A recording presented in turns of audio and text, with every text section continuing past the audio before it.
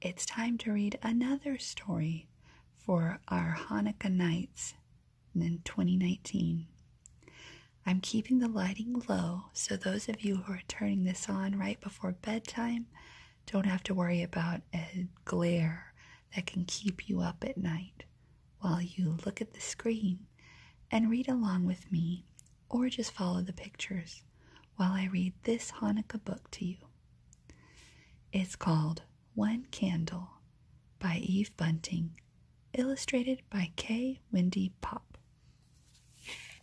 Let's start.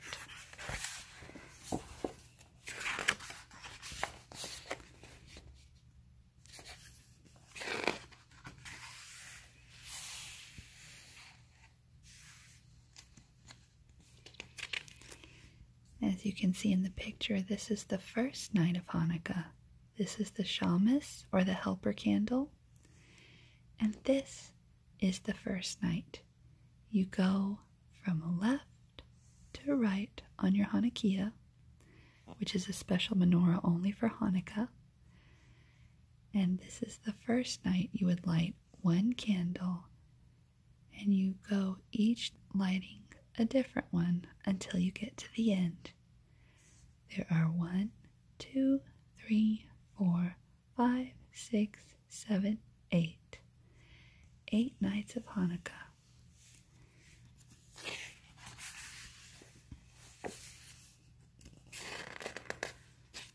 There's our dreidel and gelt. Gelt is money, but we usually use candy or chocolate coins. I say this because not everybody knows about Hanukkah, but it's fun to learn and to read. Let's begin. This Hanukkah is like every other one. Our house is filled with food and family and delicious cooking smells. Our great Aunt Rose is here. She's Grandma's sister. There's Mom and Dad, we three kids, and my uncle and his family. When Grandma and Grandpa arrived at our house, Dad gets to hug them first. Grandma brings the potato. When I was little, I thought it was to eat or to grate for the latkes that Mom makes. But it isn't.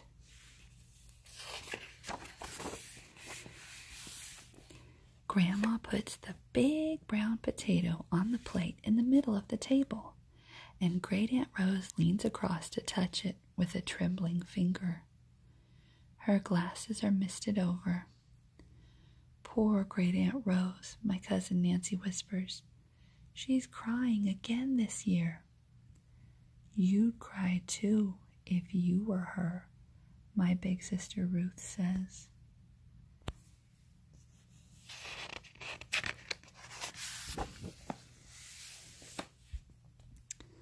After sunset, we light one candle in the menorah with the shamash for the first night of Hanukkah, say special prayers, and take our places at the table. Dad piles our plates with sliced brisket and gravy. Mmm. Mom passes the latkes and the dishes mounded high with applesauce. I think that's the best way to eat latkes. The candles in the menorah burn low, and the shadows tremble on the ceiling. The table buzzes with conversation. I love all our holidays when we're together like this, but maybe I love Hanukkah most of all.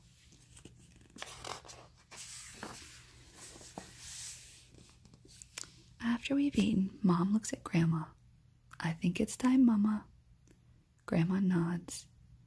Then Dad goes in the kitchen and brings back the things Grandma will need. Grandma takes the small knife and begins to hollow the potato. There she is. We are all very quiet.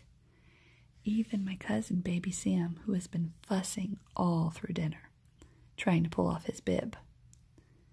We watch as Grandma piles the small pieces of scooped out potato onto her plate. Tell us now about the bad time, Mama, Mom says. Her voice is so soft and loving. We lean forward. We know this story by heart, but we want to hear it again. To us, this story is Hanukkah.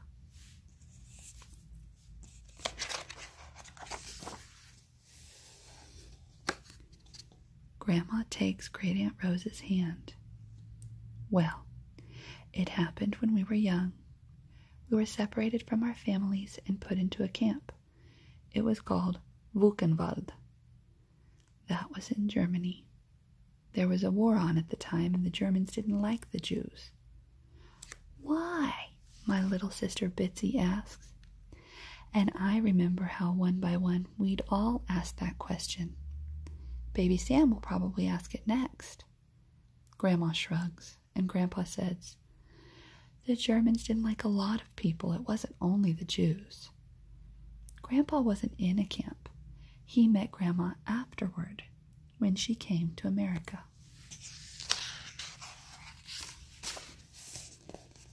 The camp was like the worst prison you could imagine, Grandma says. We were always hungry, always cold. There were seven women in our barracks, but at least Rose and I were together. Great Aunt Rose begins to whisper the names of the other women, the way you'd say a prayer. Rose was thirteen. I was twelve, Grandma says. Uncle Leon shivers just Ruth's age. We look at my sister Ruth and then at Grandma, trying to imagine.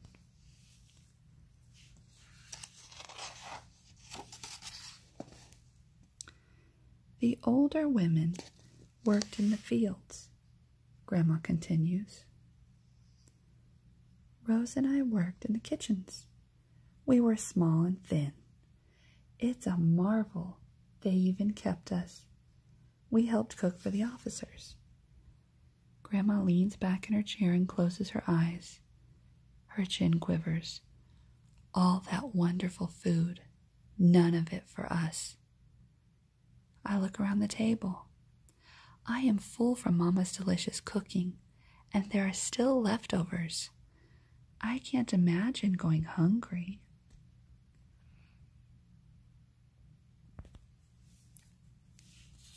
There's the challah bread too. Yum. Hanukkah was coming, Grandma says. We knew because we kept the dates on a hidden piece of paper. Working there in the kitchen, I had an idea. Little by little, I smuggled things out a blob of margarine and a scrap of paper, small enough to hide in my hand, two matches, and on the day before Hanukkah, a potato not as big as this one. Not as big a one as this, excuse me. I brought it out under my skirt. Grandma puts her hand over her heart. Oh, I was so frightened. I thought my chest would burst with fear. The guard at the door looked at me suspiciously. Aunt Rose walked beside me. She gave me courage.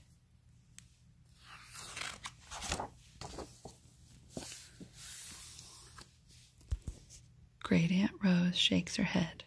I had no courage to give you, Lily.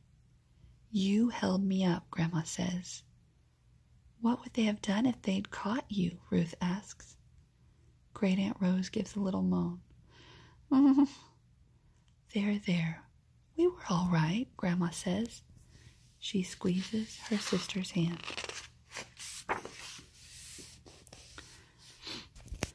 When we got back to the barracks, the women couldn't believe what I'd done.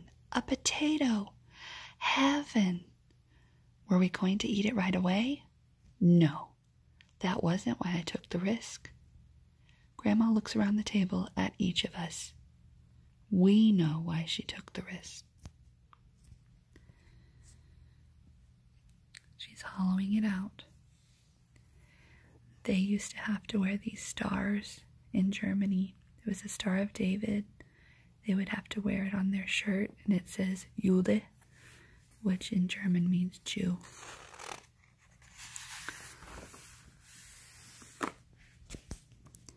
I hollowed out part of that potato the way I did this one.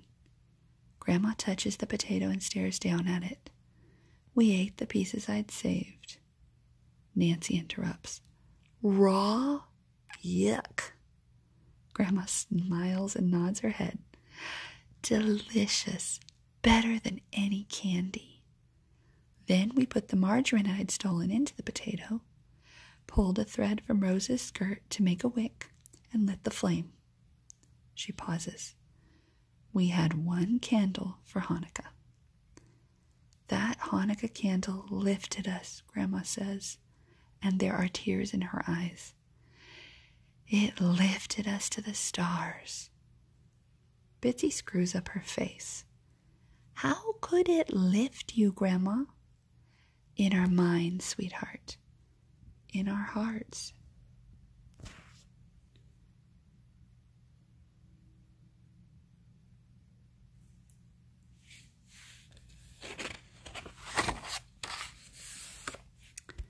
Now we watch as Grandma pours oil into the potato and lights the wick I've made from twisted threads.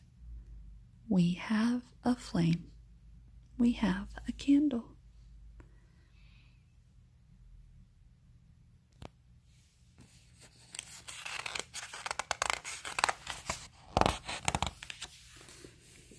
Grandma wipes away her tears and we all stand up.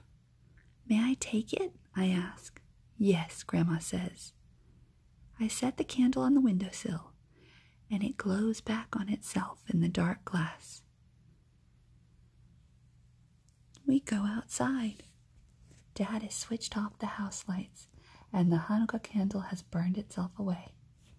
On the windowsill is this one steady flame.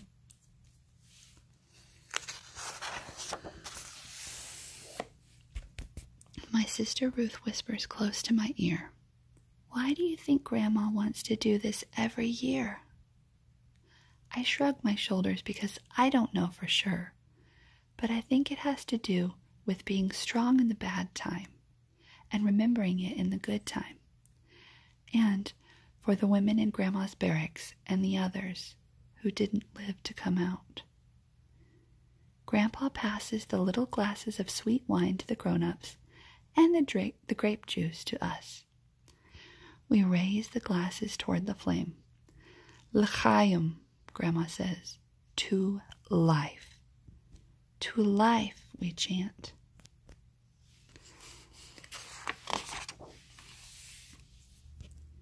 And in that moment, we are lifted to the stars.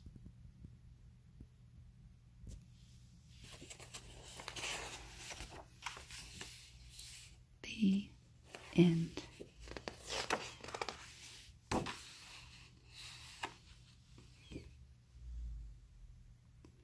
I hope you all liked that book. It may not be a silly, happy little kid's book with funny images like some of the others that we like to read, but I do believe that it is a heartfelt and sweet, inspiring book that inspires us to remember not only the Holocaust, but that Hanukkah is more than just an empty holiday that people celebrate out of the obligation from families due to a tradition that many have long forgotten. We celebrate Hanukkah in my family because it is more than an ethnic holiday. We believe that it celebrates the miracle of God. And if you actually read the history of Hanukkah, that is what it celebrates and is equally important and relevant today and always for both Jews and Christians everywhere. The history talks about the Maccabees and the rebuilding of the temple when it was destroyed, and the candle, well, the oil that burned for eight days when it should have only burned for one. So I believe this time of year and each year at this time, reviewing the history and reliving the love and graciousness that God our Father shows us is important. But even if you don't observe this holiday, as many don't, I realize, I think it's a, a, a good time of year to reflect and to learn about other cultures and other things, other holidays and occasions that different people celebrate. So, hopefully, no matter what holiday you celebrate, you've enjoyed this story. Have a good second night of Hanukkah. May the peace of God our Father be with you and keep you. Sweet dreams. Have a great day tomorrow. Good night.